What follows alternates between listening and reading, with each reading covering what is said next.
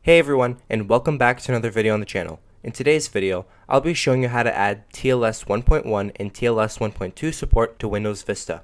Let's get started. So before we start, you need to make sure that Internet Explorer 9 is installed, otherwise this won't work. And Service Pack 2 needs to be installed as well. So once you have those installed, we can get started with adding TLS 1.1 and 1.2 support to Windows Vista. So first, I just want to show you what it looks like when we try to access websites without TLS 1.1 and 1.2 added. So we're going to open Internet Explorer and let's go to the Microsoft website.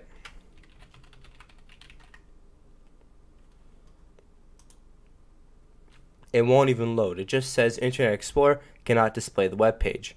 So we can close out of that now.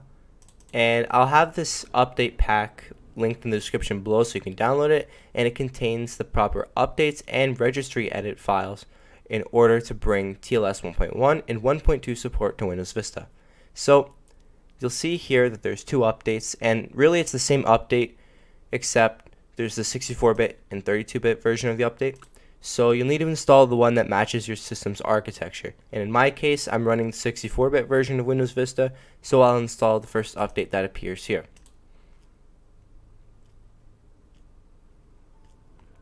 Just click OK, and the update will start installing. And then click restart now and your system will restart. Alright, so now that the update's been installed, we need to apply the registry edit. Just click yes, then click OK, and now we need to head over to the control panel. Then click network and internet, internet options, advanced, and scroll all the way to the bottom until you find TLS 1.1 and 1.2. If you want, you can make sure that SSL 3.0 and TLS 1.0 are also checked. So just click OK once you're done. And now we can open Internet Explorer and head over to the Microsoft website. And look at that. It actually loads the Microsoft website. Now, it won't load everything properly, but at least we actually get to the website. So let's open another site like apple.com. and even that loads too.